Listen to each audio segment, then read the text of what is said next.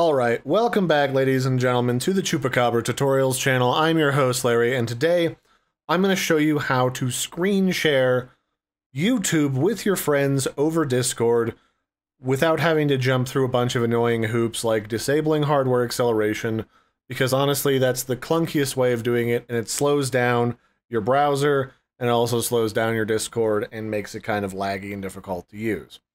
So there's two main problems when you're trying to screen share anything on the internet, and this will fix all of them. Doesn't matter if you're trying to screen share Netflix or Amazon Prime, YouTube, Hulu, whatever. All of it will be fixed with this. And the simple answer is just use Firefox and use this method to capture the audio. So the first thing you want to do is pop into your voice channel where you're going to do your screen sharing, and you can immediately just start screen sharing YouTube I've got this little video of how to make a breakfast sandwich as an example. And if you can see the video, which is currently playing, which in this case you can, if you can see this in the video preview, then that means it's working. But the other problem is we don't have audio. So how do we get audio? Well, the simple answer is if we disconnect this, is we go into our user settings and we go down to our activity status and this is where you would have all of the games that you've been playing lately, and you could detect them and stream directly from them to capture the audio. You can do the same thing with your web browser. You just click on this little button up here that says not seeing your game, add it.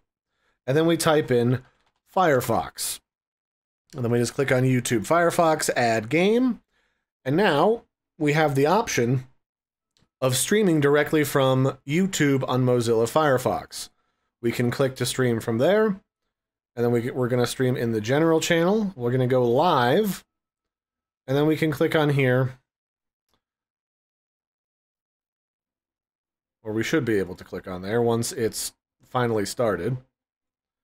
And then we can screen share this as if it was a game directly over Discord if it wants to behave itself. Sometimes it does, some okay, there it goes. Sometimes it behaves, Sometimes it doesn't. And then you can see it and hear it here. If you can see it and hear it in the preview, everyone else can see it and hear it. So that's how you screen share YouTube over Discord with your friends. You just the easiest way is to just download Firefox. It's free. Play stuff over that. This works for Netflix, it works for Hulu, it works for Amazon Prime, HBO Go. Pretty much anything you could possibly do for a web player works over Firefox because they don't implement whatever weird protections that everybody else uses in order to try and force you to not do this. So that'd be it for this one, ladies and gentlemen. I've been your host, Larry. Don't forget to like and subscribe, and I'll catch you next time. Bye, everybody, and have a good one.